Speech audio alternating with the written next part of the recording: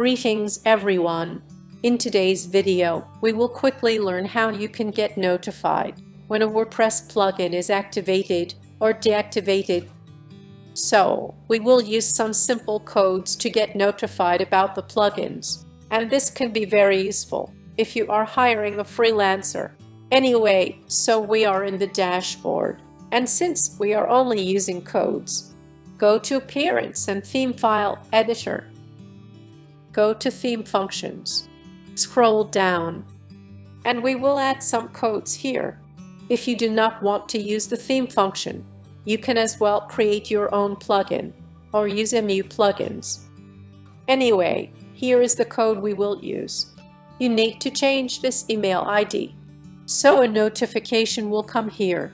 We recommend using the same domain email.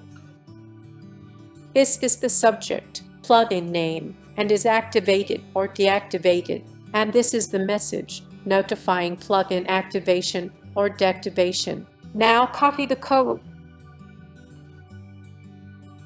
Paste it here. Update file. So the file has been updated. Let's test it. Go to Plugins. Add New. Let's randomly install a plugin. Activate it so the plugin is activated. This is the email we use.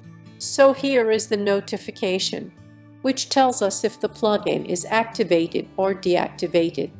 Let's try deactivating the plugin. So again we get a notification. The plugin is deactivated. So this way, you can get notified if any plugin is activated or deactivated on your website.